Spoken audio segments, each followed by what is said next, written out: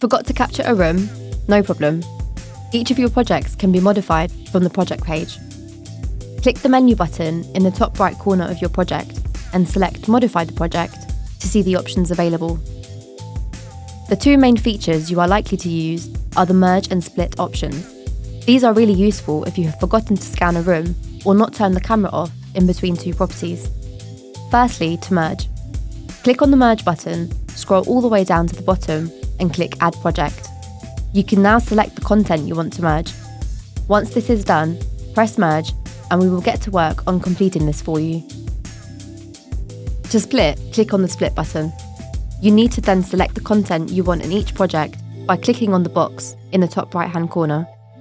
Once you have chosen which content you want in Project 1 and Project 2, simply hit the split button and our processing team will work on completing your properties how they should be.